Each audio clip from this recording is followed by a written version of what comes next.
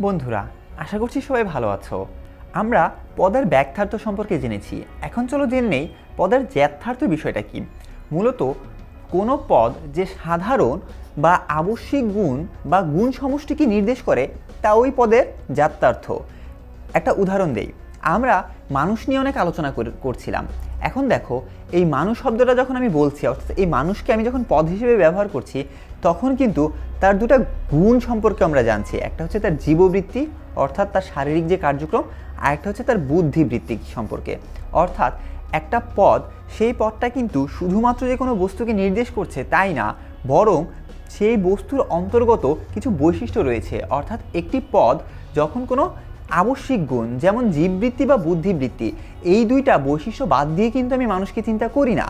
অর্থাৎ যখন আমি কোনো গুণ বা বৈশিষ্ট্যকে বোঝাচ্ছি, যেটা কিনা অবশ্যম্ভাবী, ওই পদের মধ্যেই থাকবে, তখন সেই বৈশিষ্ট্য বা সেই গুণটাকে আমি বলছি একটি পদের জ্যাতার্থ দেখো, ল্যাটা ও ম্যাকবেথ দুজন যুক্তিবিদ। তারা মনে করতেন প্রত্যেকটা পদ কোনো না কোনো বস্তুকে নির্দেশ করে এবং গুণকে প্রকাশ করে। যেমন, আমি যদি আজকে একটি চামচের কথা বলি, তখন সেটা একটা বস্তুকে নির্দেশ করছে এবং একই সাথে চামচ, এর কাজ বা এর বৈশিষ্ট্য সেটা সম্পর্কেও আমি জানছি। অর্থাৎ সেটা কিছুটা চ্যাপ, চ্যাপটা আকৃতির হবে, এক পাশে আরেক পাশে সেটি একটি লম্বা দণ্ডযুক্ত হবে। অথবা আমি যদি আরেকটি বলি, চাবি, এই চাবি পথটি দ্বারা কিন্তু আমি একটা নির্দিষ্ট বস্তুকে বোঝাচ্ছি এবং এই যে নির্দিষ্ট বস্তুকে বোঝাচ্ছি, বোঝানোর মধ্য দিয়ে চাবির একটা বৈশিষ্ট্য সম্পর্কে আমি জানছি, সেটা হচ্ছে কোনো তালা খোলার ক্ষেত্রে আমি এটাকে ব্যবহার করব।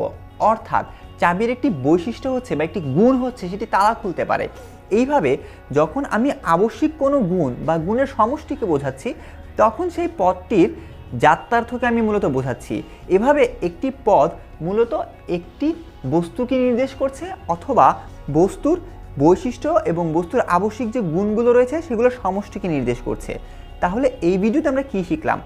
আমরা শিখলাম প্রতিটি পদ কোনো বস্তু এবং ওই বস্তুর গুণকে প্রকাশ করে।